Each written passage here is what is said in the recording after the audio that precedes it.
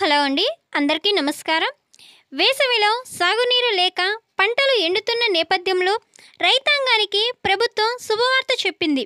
ఈ మేరకు వ్యవసాయ శాఖ మంత్రి తుమ్మల నాగేశ్వరరావు కీలక ప్రకటన చేశారు. కాంగ్రెస్ ప్రభుత్వం అమలు చేయబోతున్న రైతు భరోసా పంటల బీమా రుణమాఫీ పథకం విధి విధానాలపై ప్రభుత్వ యంత్రాంగం కసరత్తు చేస్తుందని పేర్కొన్నారు.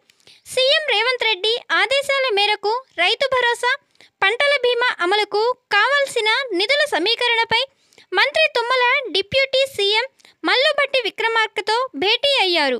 ఇప్పటి వరకు వ్యవసాయ పరపతి సంఘాలు బ్యాంకుల నుంచి ఎవరైతే రైతులు పంట రుణాలు తీసుకున్నారో వారందరి నుంచి డబ్బు రికవరీ కోసం ఇబ్బందులు పెట్టకూడదంటూ అధికారులకు ఆదేశాలు జారీ చేశారు. రానున్నది వర్షాకాలం కావడంతో కావలసిన పెంచుకోవాలని వ్యవసాయ అధికారులకు సూచించారు. మార్క్ ఫెడ్ కేంద్రంగా రైతులకు తీసుకొచ్చే అన్ని రకాల పంటల కొనుగోలు సక్రమంగా కొనసాగేలా చర్యలు తీసుకోవాలన్నారు.